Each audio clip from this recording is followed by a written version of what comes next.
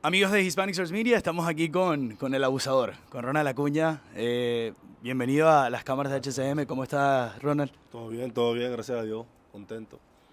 ¿Cómo te trata Toronto? Primero que todo, te quiero preguntar por, por este arranque de campaña en lo personal. Has arrancado muy bien. Eh, ¿Cómo te sientes? ¿Cómo te sientes en lo físico? ¿Cómo está todo? Mira, de verdad que me siento bien, gracias a Dios, saludable, que es lo más importante, y aportar mi granito, mi granito de arena para ayudar al equipo en cualquier parte en, el, lo, que se, lo que a los Bravos se refiere, ¿cómo ves al equipo esta temporada? Un equipo que tiene muy buenas incorporaciones, los pitchers están teniendo buenas actuaciones, obviamente la ofensiva está funcionando. ¿Cómo, cómo ves el equipo en general para, para pelear este año? Bien, bien, de verdad que todos los años de que soy Grande Liga el equipo lo he visto bien, de verdad que hay una mezcla de jugadores jóvenes, un veterano, de la que tenemos una armonía en el club, que eso es lo que ponemos en práctica todos los días.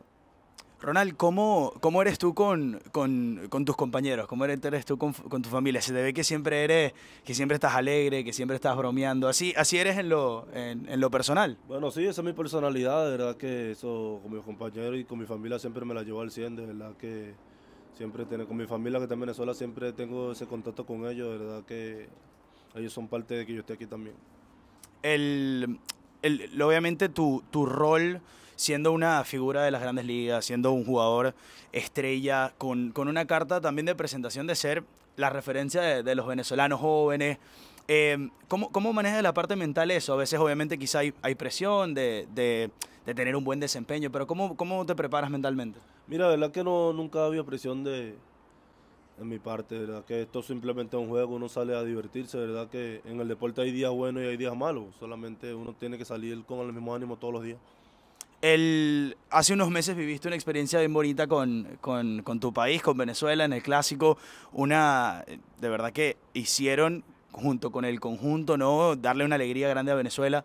Eh, estuvieron ahí a nada y, y, cómo se definió, obviamente, bastante dramático, pero ¿cómo te hace sentir, obviamente, haber tenido esa experiencia, haber formado parte de ese equipo? Mira, me hace sentir bien, de verdad que espero poder vivirla la próxima con el favor de Dios, de verdad que hicimos buen espectáculo, pero nos quedamos cortos, nunca no, no pudimos llevarle esa corona a Venezuela, pero espero que en el 2026 podemos lograrlo con el favor de Dios. Así es, hace unos días creo que hiciste una entrevista y decías que, que tu ídolo era, era Miggy. Y te quiero preguntar, porque obviamente estamos en la última temporada de Miggy, ¿cómo comenzó esa, ese seguimiento a Miggy? Obviamente imagino que estando en Venezuela, siguiéndolo en, la, en, las grandes ligas, pero ¿cómo, cómo decidiste este, este jugador que quiero seguir? Bueno, desde niño, él siempre, mi papá jugaba en esa época también y siempre yo lo vi jugar con los Tigres, me acuerdo. Y nada, yo siempre de niño me... En la televisión se veía fácil la manera que él bateaba, yo siempre dije que yo quería ser como él por lo fácil que, que, hacía las cosas. Ya para, para ir cerrando, Ronald, te tengo una, una fácil. Una canción que te guste ahorita, que, que para, no sé, para ponerte un ánimo. Rochi, Rochi es lo que yo escucho. Rochi Baboni, el alfa, de y reggaetón. Ahí está. Eh, eh, una, una comida, una comida que, que, te guste, no sé si después de partido, etcétera. Aquí en Estados Unidos, bueno, yo como lo que pongan ahí, ¿me entiendes? Pero en Venezuela me gusta comer pasta con carne molida y tajada. Esa es la comida preferida mía.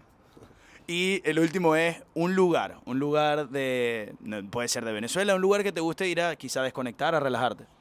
Tu caca, tu caca, Falcón.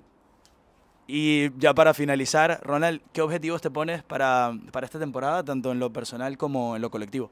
Mira, en lo personal, mi meta es mantenerme saludable y poder, poder jugar los 162 juegos. Esa es la, la única meta que tengo este año. Muchísimas gracias. Ronald Acuña, señores, para Hispanic Source Media.